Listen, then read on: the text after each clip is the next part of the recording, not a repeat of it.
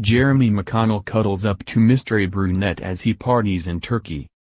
Jeremy McConnell looks to be moving on from his dramas as he cuddles up to a mysterious brunette while on holiday in Turkey.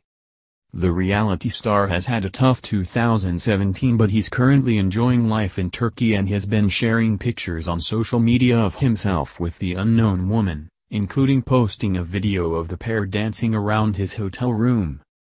Jeremy's now deleted picture showed him with his arm slung around the woman's shoulder as she cuddled into him, the pair were all smiles as they beamed at the camera.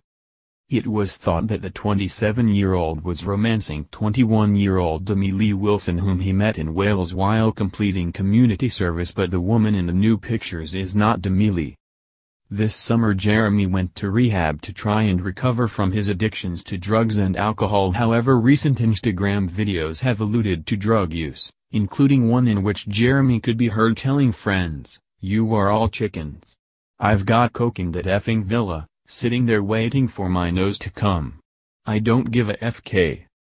He also recently got a tattoo on his leg which appears to be of a nun leaning over some white powder. A string of prayer beads has been drawn underneath her hands and to seemingly highlight the religious theme, Jeremy added the caption Sister White to an Instagram post in which he shared the tattoo. McConnell has a son Caben Albi with actress Stephanie Davis, who he met on Celebrity Big Brother. The couple had a very bitter and public split and Jeremy was asked to complete community service in Cardiff after being found guilty of assaulting staff.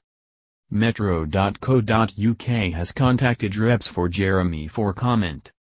More, Stephanie Davis shares emotional labor video from Caben Albi's birth as she credits son for giving me a reason to live. More, Jeremy McConnell has new tattoos on his face including initials and a crucifix paint